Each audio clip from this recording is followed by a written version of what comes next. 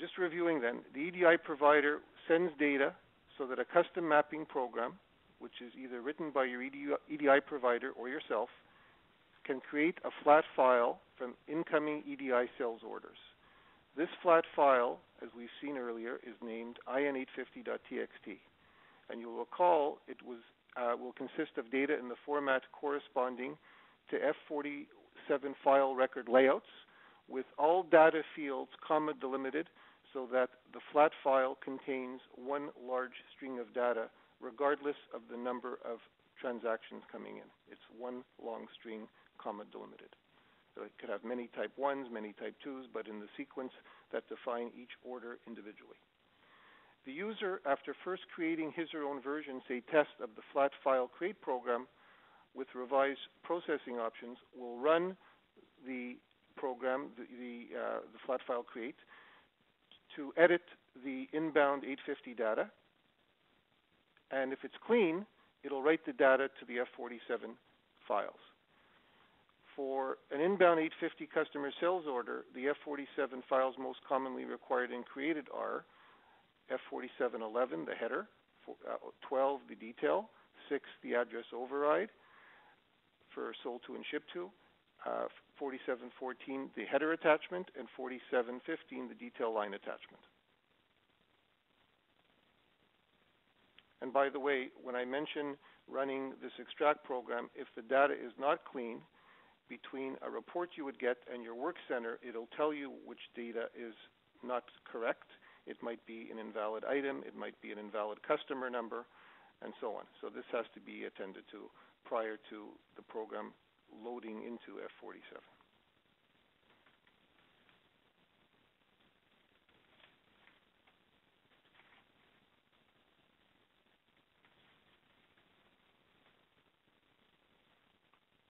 So there's the version test that I created.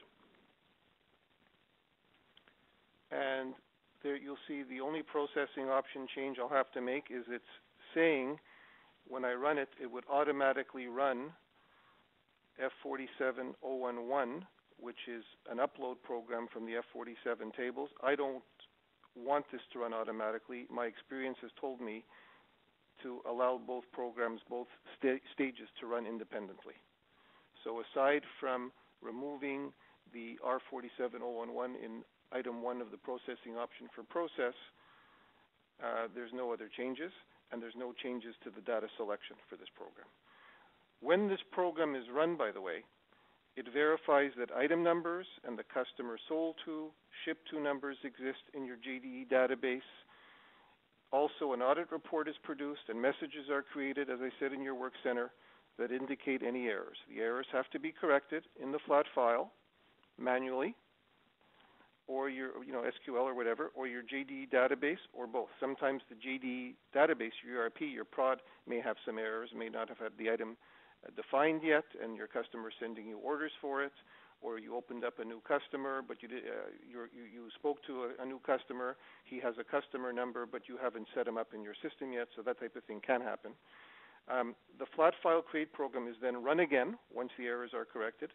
This time, if there are no errors, F47 file data is created.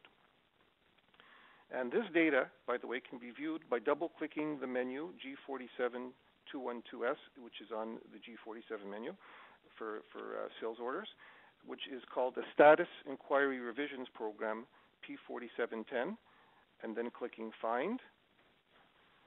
And that gives you this screen which allows you to view EDI transactions prior to uploading them.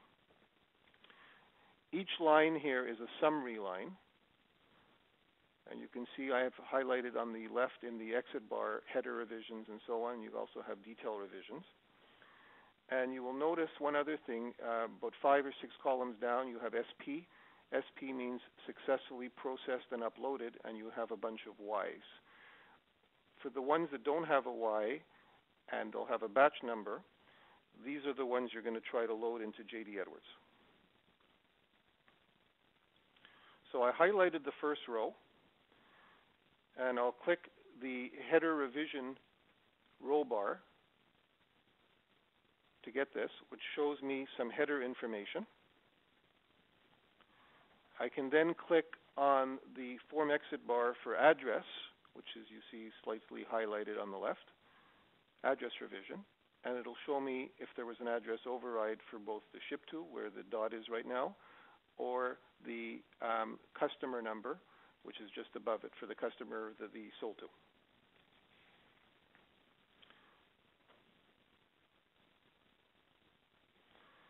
By clicking cancel to cancel this screen and going back a screen, this time I would click on header notes and header notes would get me the header attachment that you see on this screen. And in this case, I have a delivery date sent to me hard coded as an attachment for the header. And there it is. So please notice it indicates an actual delivery date. And the other thing I just wanted to mention in passing, if you recall the uh, the first screen of inquiry, I had a choice to go digging down on on header records or uh, de detail revisions as well, and the same concepts apply with their attachments and so on. And they would look like this. So by highlighting a row in this screen, I can click on detailed notes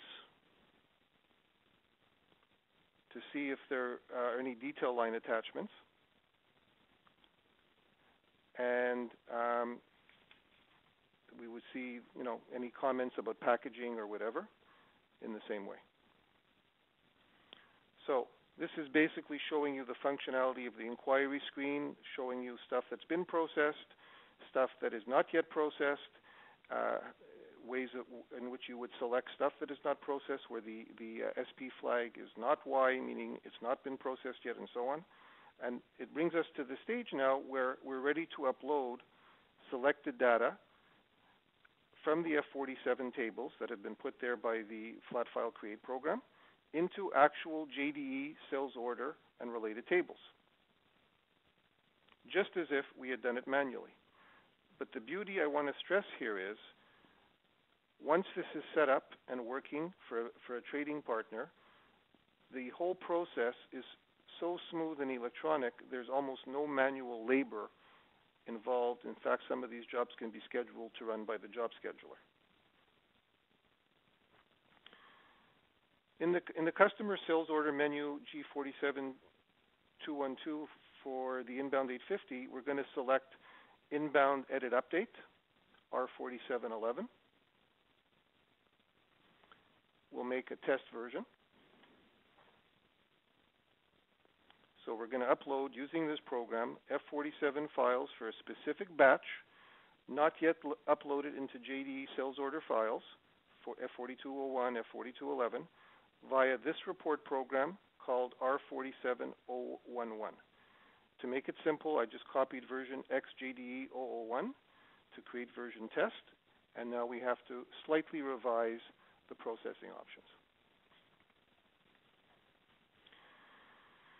Typically, we'll specify the version of P4210 that we want to be used to upload F47 data because R4711, this upload program, actually uses P4210 or a version thereof to actually update the files as if we had done it manually.